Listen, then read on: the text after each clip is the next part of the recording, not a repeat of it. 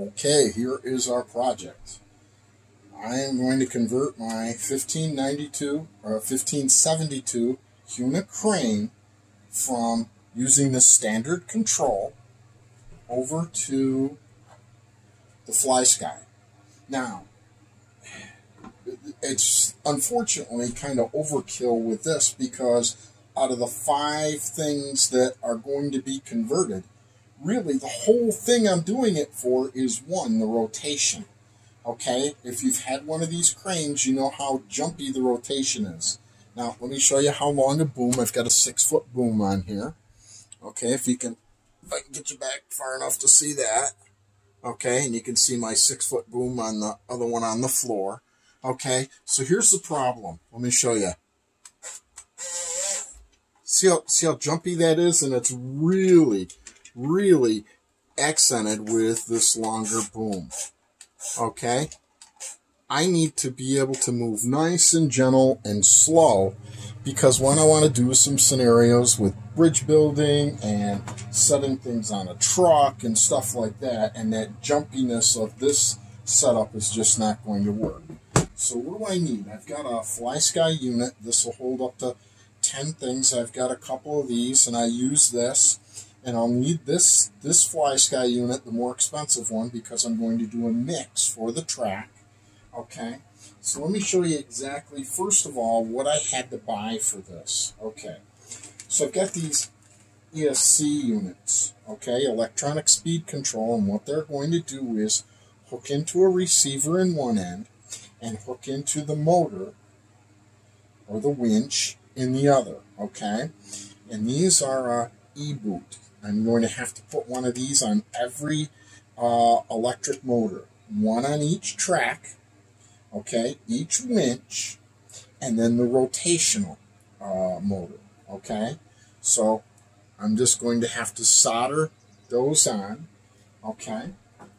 So these are, I, I get the 20 amp uh, overkill, but they're not any more expensive, and if they are, that's worth a little bit. Okay, and that, again, these are the ESC units. Okay, I also get these e-boots that I told you about. And then I bought this kit of solder fasteners. So in the ends, when they come together, I can just use that if I need to solder wire to wire. Okay, tools that I need, I've got just a couple sets of pliers. I've got my uh, screwdriver set. I'm going to have a soldering iron, and I'm also going to maybe need the heat gun if I use any of these soldering kits. Okay, one thing I did forget to tell you is I need one of these receivers to go with the um, FlySky unit because all five of these will plug into this receiver. Okay. So that's where we're at. What I'm going to do next is get this torn apart and show you what my next step is. So um, I'll come back to you once I have this apart and we're looking at the motors. Alright, so now I've got my cover off. And what I've got to do is I need to get in here. You can see the two winches what you can't see are the motors down below, but these are the lead lines here coming up. Uh, pick them up high enough for you to see. Okay, and then I've got the rotational motor here. Okay, so all five of those are going to hook to an ESC, right? One of one of these. So in order to do that, I've got to put one of these e-boots on each one of them. Okay. So I've got a couple choices. What I could do is cut the wires and then put the um, connectors on, or just take the wires off and solder directly, which I'm going to do. So I'm going to solder these e-boots to each of those terminals, okay, for each of the winches and for the rotation. And now because the motors are way down below, underneath, what I'm going to do is snip the wires here, okay, and use uh, the soldering kit, the solder joiners, okay, to do that. And I'll show you that when everything is complete. Okay. Now for taking the cover off, it gets a little tricky. What you have to do is set it on its side, take the screws that you can see off, and with it plugged in, you're going to have to rotate the tracks until each of the screws comes back. Now what I do is I don't put all the screws back in. I think there are seven of them. I put four of them, one in each corner, and then I circle it with a, a marker. So if I have to get in there again, I know I know what um, uh, I know which ones to take off. Now, also incidentally, with the longer boom, I had to get in here and put in different line, and that was pretty easy. All I did was wound the old line line all the way out and snipped it off. Took the new line put a little piece of, a little bit of super glue in there, let it set for 30 seconds, and then started winding it in, okay, until I had the length. Actually, what I did is I put as much as I could in there. And I so I have overkill. I have more than I can use. So I've got plenty of winch line in here. Now, what I'm going to do is take out this motherboard that came with it, the stock Huina motherboard, okay, because replacing it is going to be the receiver that we use. All right, so when I come back to you, I'm going to have the e-boot set up on all these, the motherboard gone, okay, and what we'll be able to do is plug in and see how everything works with our uh, controller. Okay, so here we go. I've got e-boots attached to both winches, okay. I've got them attached to both tracks. And again, I didn't have to get in below and mess with the tracks because all I did was snip off the lead wires and then used these soldering connectors to connect to the e-boot. Okay? The last thing, and I'm going to wait and do this while you're watching to show you. If you haven't done it before, I've got to attach this e-boot to the rotational. And all I did was I took the wires off, I had snipped them off, and I held the hot soldering iron, pulled the wires off, so there's a little bit of solder left on them. So, we're going to try it without having to attach solder. All I'm going to do is heat it up. See if I can get that enough. If I have to, I'll add solder. We'll see if there's enough there. Come on, you little rascal, hold. Hey, there we go. Now there's a lot more solder on the other one. I did the hard one first. So I heat up the solder, it on. I get it the right angle, that would help me. There we go. We melted it. And hold it. Okay. So there we are. We've got solder connections to all five. One, two, three, four, five. Okay. Last thing, oh, another thing in tools, I forgot to tell you that I use my uh, uh, crimper and a um, for stripping the wire. I needed that. I forgot to tell you that. Okay. So I've got all of these connected. The next thing I'm going to have to do is get this set up and all of these are going to plug into an ESC and then they will plug into a battery. Now here's the last trick. The problem is you got to make a wiring harness, okay? Because for some reason each one of these e-boots needs power. When you do a servo, it's fine. All you need is one going to the receiver and the receiver sends it back. But for some reason, with the e-boots, uh, you need to, each of them has a wire, has to have a connection to the battery. So what I do is I create one of these wiring harnesses, okay? I take five male e-boots, okay? Why do we use male? Because coming off the battery is a male. So in effect, what, what I'm creating is the battery will plug in here, Okay?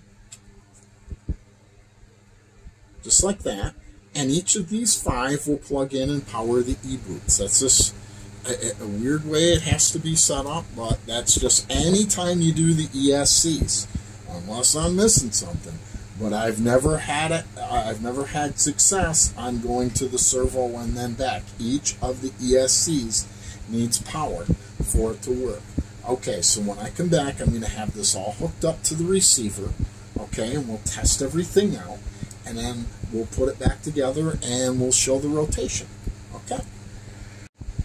Okay, we have all our ESCs hooked up to each of the um, motors. Now before put it back together, I always recommend, pardon me, I'm all covered with dirt and dust from handling another model. always test it. These ESCs, I don't trust them. You get them all together and uh, sometimes they just don't work. Always order extra. If you need five, order six. That's what I do. Okay. So I've got the battery hooked into our uh, harness. Our harness is each of the uh, ESCs all going into the uh, receiver. All right, so here is, and, and, I had to set up the mix on the track. Um, I've got a video on how to set up the mixes. It's easy. Um, there's also other ones on YouTube. So here we go. So this will be forward, reverse, right, left. Okay, so the tracks work. And that's all on the right stick. Okay, so I set up now the winch for raising and lowering the hook. This winch, okay, up and down on there. Now, sideways, I am doing the rotation of the boom. So you can see that, I got that.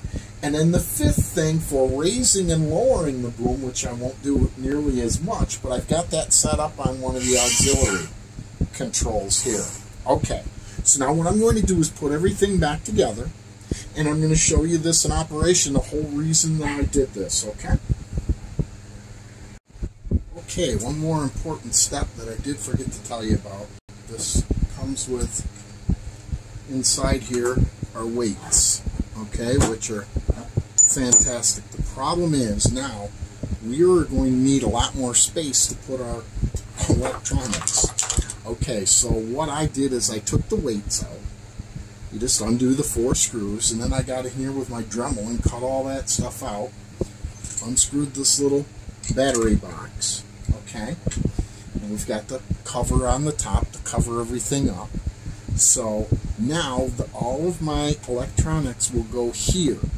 And what I'm going to have to do is externally put all the weights. Now we're going to have to do that anyway. We're going to have to put extra weights on the outside. If you have um, a uh, you know 3D printer that's neat. You can make a little decorative box back there. I'm gonna have to hide mine. I'm going to um, figure something out, but um, to do that. But you need a lot of weight in the back to counter counter uh, balance, and especially for me with a long boom. So I've got to fit all my electronics in here. And the other thing is I forgot tool-wise Dremel um, to cut that. It's not a necessity, but it, it sure made it handier instead of having to get in there and snip everything out. So here's an idea what I'm going to have to do here. I've got all my electronics, and the good big thing is I'm going to have to make sure none of them tangle with the uh,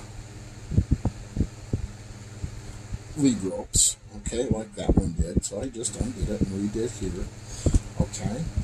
So all of the electronics now are going to go in here and I'm going to have to lead it around and I'll figure it out but that's going to be part of the challenge is putting all that in there.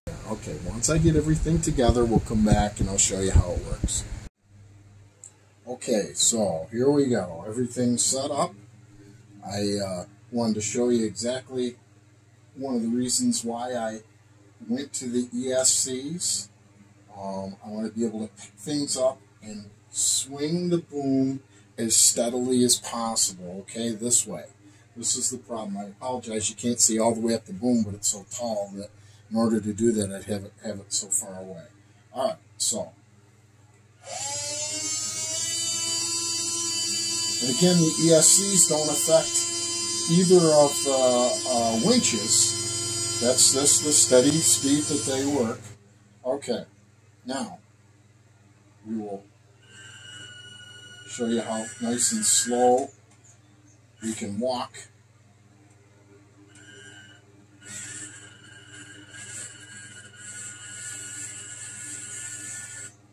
Okay, and again, this is this is the key right here. Nice and slow and steady with the boom. That's what I want to be able to do. Okay, so let's go back again. Let's set our, set our little bobcat on the ship.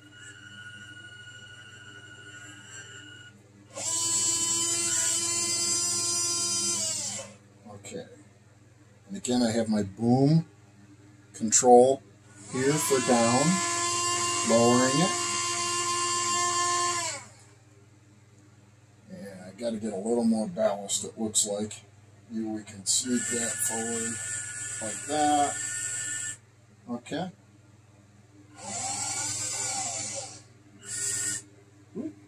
Wrong, wrong control. Getting used to the controls.